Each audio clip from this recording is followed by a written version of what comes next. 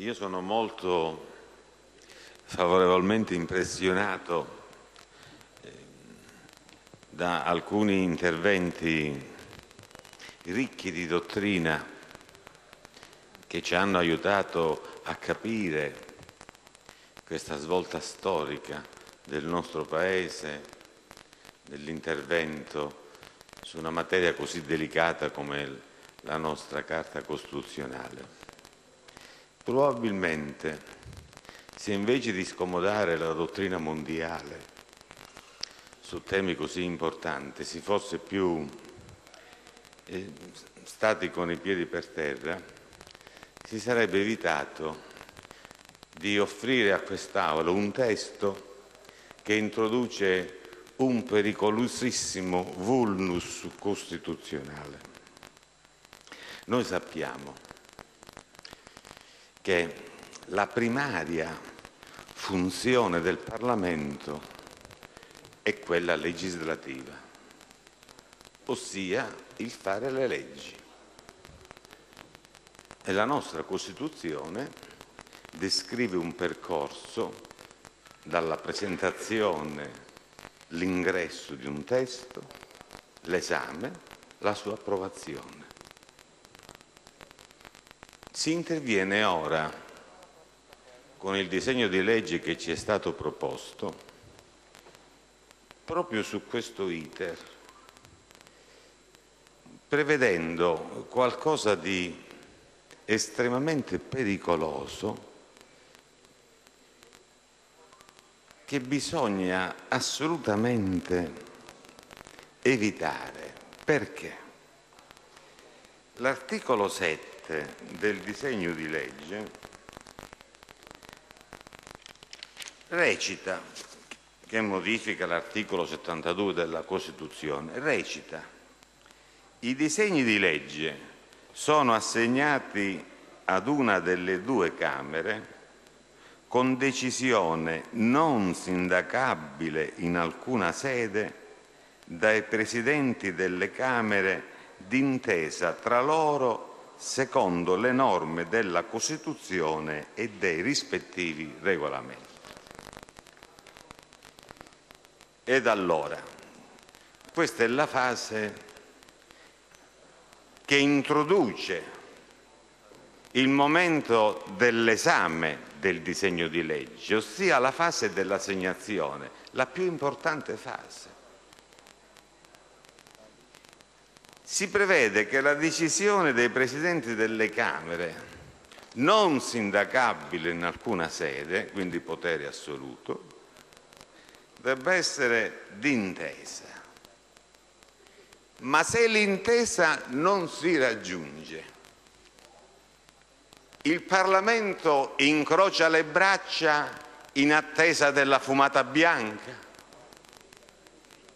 Cioè noi non possiamo prevedere un sistema costituzionale che contempli un vulnus radicale sulla funzione primaria del Parlamento, perché potrebbe non raggiungersi l'intesa per i motivi più disparati. Ad esempio per facilitare il percorso di decretazione del Governo, per cui paralizzare il Parlamento e portare avanti i decreti del Governo, che ovviamente avranno una corsia privilegiata. Noi dobbiamo facilitare, essendo una democrazia parlamentare, dobbiamo facilitare il lavoro del Parlamento, non prevedere il vulnus, perché ci potrà essere un contrasto anche duro tra i due Presidenti di Camera e Senato che rivendicano alla propria Assemblea l'assegnazione di un disegno di legge e si dice che nessun altro potere potrà intervenire perché comunque c'è l'insindacabilità ma l'insindacabilità della Stasi? È insindacabile la decisione se raggiunta, ma una decisione non raggiunta, come viene sanata? Da quale organo?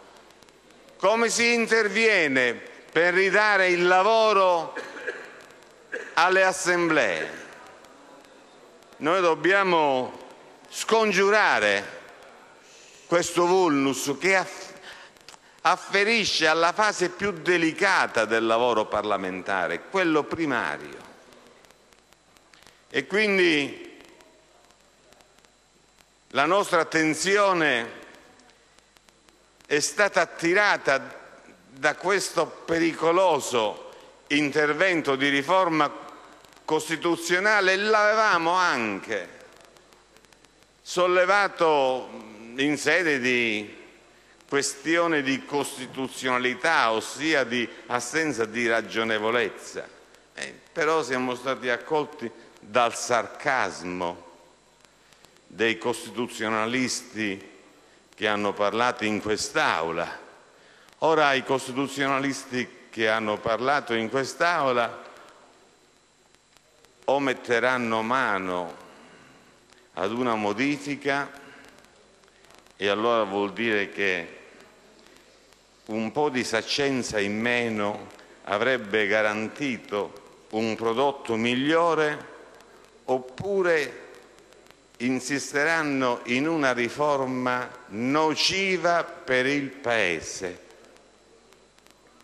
Così come, e ne faccio un breve accenno perché poi il tema sarà sviluppato successivamente, così come l'intervento che a questo punto sta diventando centrale nel dibattito, l'intervento emendativo del PDL con la proposta del semipresidenzialismo è un intervento che nasconde una parte essenziale della nostra Costituzione, perché si è voluto eh, ricopiare il modello francese, perché anche nel sistema francese è prevista questa disciplina, ossia quale? Che cosa si propone? Il Governo della Repubblica è composto del Primo Ministro e dei Ministri, che costituiscono insieme il Consiglio dei Ministri. Il Presidente della Repubblica presiede il Consiglio dei Ministri, salvo delega al Primo Ministro. Questo è un tipo di riforma proposto che è mutuato dalla Costituzione francese del 1958, con una differenza sostanziale. La Costituzione francese non prevede quello che invece è previsto dalla nostra Costituzione all'articolo 95, ossia il Presidente del Consiglio dei Ministri dirige la politica generale del governo e ne è responsabile. Punto. Altro periodo. Mantiene l'unità di indirizzo politico ed amministrativo promuovendo e coordinando l'attività dei ministri. Questa funzione costituzionale del mantenimento dell'unità di indirizzo politico non è contenuta nella Costituzione francese, è qualcosa che appartiene esclusivamente alla nostra Costituzione ed è rispetto alle indicazioni di politica generale qualcosa di specifico e di eminentemente politico. Ora, il Presidente della Repubblica eletto a suffragio diretto può essere espressione di una maggioranza politica diversa dalla maggioranza politica che elegge il governo.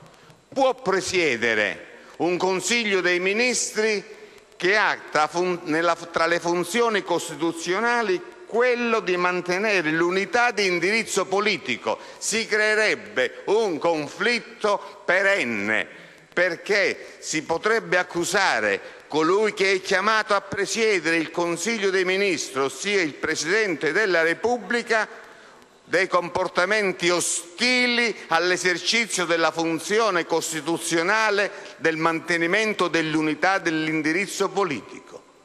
E quindi con evocazione dell'articolo 90 della Costituzione, la messa in stato d'accusa perché per attentato ad una funzione costituzionale, ossia si possono anche prendere le esperienze, cogliere le esperienze degli altri paesi, ma poi bisogna modularle sul, sul, nostro ordinamento costituzionale. Non basta ricopiare una norma, bisogna vedere se quella norma può conciliarsi con il nostro sistema. E un Presidente della Repubblica eletto da una maggioranza politica diversa da quella che ha eletta il Governo non può presiedere il Consiglio dei ministri che ha come fine anche il mantenimento dell'unità di indirizzo politico, l'indirizzo politico al quale è ostile quel Presidente della Repubblica che è stato eletto da altra maggioranza politica. Quindi amalgamate gli istituti, proponete di amalgamare di, di modificare la nostra Costituzione amalga, amalgamatela con i nostri principi, diversamente diventa un'opera demolitoria e strumentale, finalizzata probabilmente a rendere complessa l'approvazione di questo disegno di legge che doveva avere come obiettivo principale quella della riduzione dei parlamentari se non passa con il voto di due terzi del Parlamento si è costretti probabilmente ad andare al referendum confermativo e a quel punto si blocca tutta la legge e salta anche la riduzione dei parlamentari. Io temo che si stia facendo tutto questo per ottenere questo risultato approvare una legge ma senza la maggioranza qualificata e quindi referendum conformativo e quindi alle prossime elezioni si andrebbe con l'attuale normativa costituzionale senza toccare il numero dei parlamentari neanche di un'unità. Questo è il rischio che io vedo in questa presa di posizione forte assunta dal PDL con l'emendamento che vuole introdurre il semipresidenzialismo proprio fatto quasi apposta per ottenere i voti dei due terzi. E quello sarebbe il grimaldello per fare saltare tutto, per cui la scelta sarebbe gattopardesca, agitiamo tutto per non cambiare niente.